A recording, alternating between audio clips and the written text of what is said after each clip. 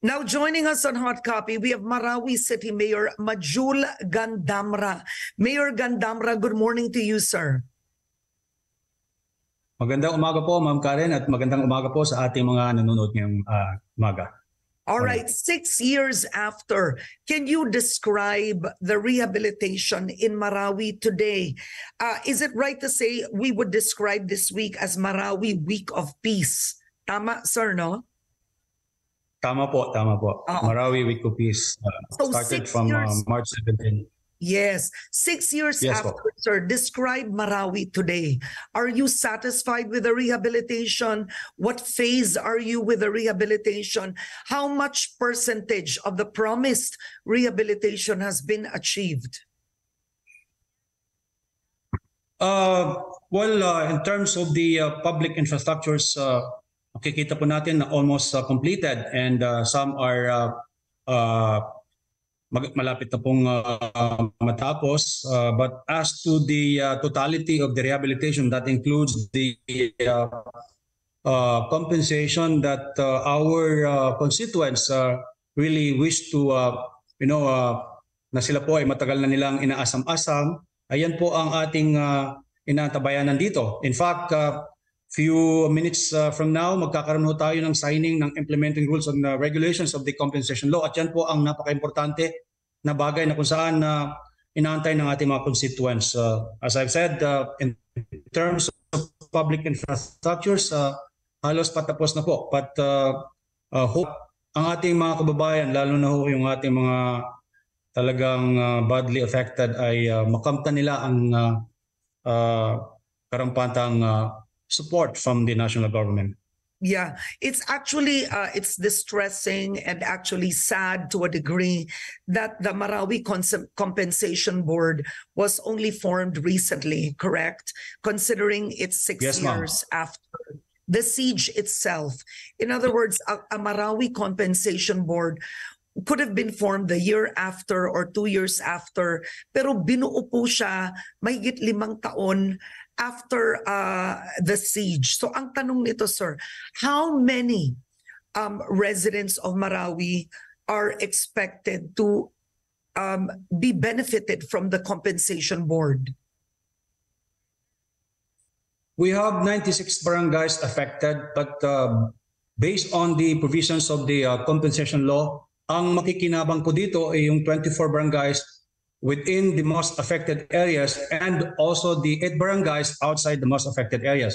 Kanya lang po, based on the uh, series of uh, consultation uh, done by the members of the uh, compensation board, marami pong uh, uh, nagsasabi na sana ay nakasama sila no dahil uh, hindi lang ho yung mga nasiraan ng kanilang pamamahay but as well as the uh, other uh, yung mga nawalan ng kanilang mga ari-arian uh, even outside the, the ground zero. So yun po ang uh, clamor and that's the reason why I'm also raising these issues dahil uh, directly uh, from our constituents ay uh, gusto nilang uh, iparating sa ating uh, kongreso na sana magkaroon ng uh, uh, would I would say uh, a revision or amendment doon sa existing law dahil sa ngayon po ay uh, kung uh, yun ang pairali natin ay, marami pong mali left out. That that's the reason why I am feeling I'm napansin dahil uh, uh, we are very thankful no with the passage of the uh, compensation law. Although medyo tumagal at medyo tumagal din yung appointment ng ating mga members of the board but just the same ito po ay uh, matagal na hong ng ating mga uh, kababayan at sana po yung clamor na ma- mas- maisama din natin yung ibang kababayan natin na talagang naapektuhan ay uh, sana po ay makonsider ng ating uh, uh, kongreso. Okay, so if the residents affected, let's start with a few points there. If the residents affected by the Marawi siege six years after have not received compensation, how did they build their own homes? Where do they live today? How do they send their children to school? How do they earn a living? If after six years they have not received any form of compensation? Uh, during the uh, during these years, ma'am, meron pong mga binigay din naman ang in fairness to the government, uh, meron namang binigay ng mga assistance, no? Livelihood assistance, financial assistance, but these are not enough to really uh, uh, yung satisfy the needs of our people, especially those who are uh, really displaced at ngayon ay nasa uh, temporary shelters uh, kung So saan there are uh, still, this is the point, sir. Six years after, there, the, many are still living in temporary shelters. Exactly. Uh, because they were they are waiting for the support ng ating gobyerno para nang sa ganon masimula nila ang pagpapatayo o pagpapaayos ng kanilang mga bahay. That's the reason why with the uh, appointment of the members of the board, we are hoping na mas ma-fast track po yung implementation. And uh, on the part of the local government of Barao City, tumutulong po kami dahil alam po natin that before the seats, ang nagiging problema natin is the uh, in the compliance, no, yung uh, documentary compliance. Uh, that's the reason why tayo po ay nakipag-ugnayan sa mga membro ng compensation board na mas mapabilis po yung proseso. Yun nga lang ho, during the series of consultation uh, na ginawa ho ng compensation board, marami po tayong mga narinig na hinaing na sana yung talagang uh, naapektuhan kasama po yung mga ibang barangays ay masama po dito sa uh, assistance that will be given by the government through the compensation uh, law. So yan po ang ating apila. Sana po ay uh, uh, ito po ay ma- matutukan ng ating gobyerno. All right. I'm curious, Mayor, uh, the budget to actually restore Marawi, let's start first with that, was pegged at 60.5 billion pesos, right? The rehabilitation from 2018 to 2020, only 28% was released of the 60 billion that was touted to be the budget for the rehab. It is now 2023 was the full 60 billion pesos spent or released for the rehab of Marawi?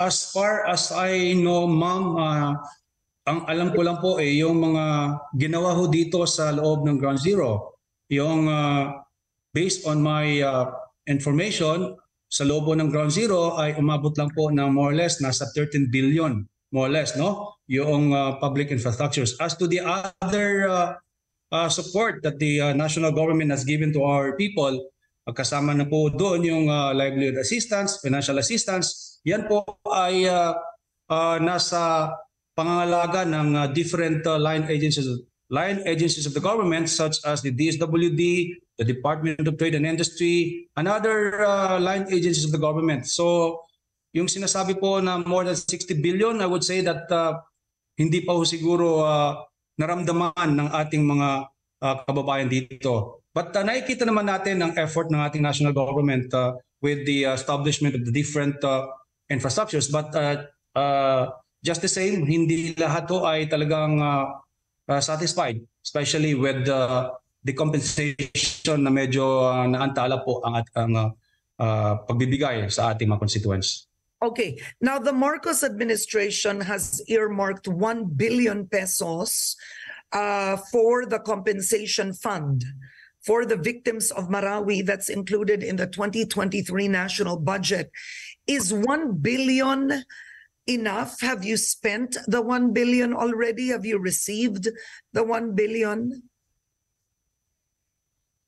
Uh, sa ngayon po hindi pa ho dahil uh, gu- gumugulong pa yung proseso. As I've said, uh, the board will be uh, is now uh, uh, ready to sign the uh, implementing rules and guide uh, regulations. And uh, as to the uh, kung ito ay sapat para i-compensate yung ating mga uh, apektadong uh, constituents, uh, I think it is not it is not enough to uh, cover the uh, the the losses no that will be that will be uh, compensated. Uh, but as I believe that uh, meron pong uh, gradual infusion of uh, funds every year. Meron pong uh, gradual infusion ng pondo nang sa ganon ay uh, talagang uh, uh, ma- mabigyan natin ng uh, uh, support yung mga would-be beneficiaries. But as I've said, uh, Ma'am Karen, ang clamor po dito sa ground is that kung ang pagbibigyan po natin is yung 24 barangays, including the 8 barangays outside the ground zero, ay talaga ho marami po mali-left out.